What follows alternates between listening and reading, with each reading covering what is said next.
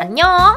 오늘 꾸미와 함께 할 말씀은 여호와를 경외하는 것이 지식의 근본이거늘 미련한 자는 지혜와 훈계를 멸시하느니라.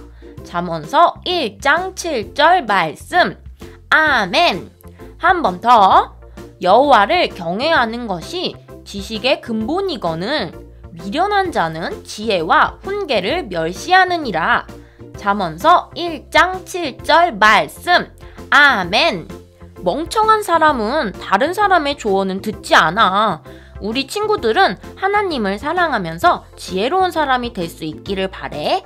내일 또 만나. 안녕.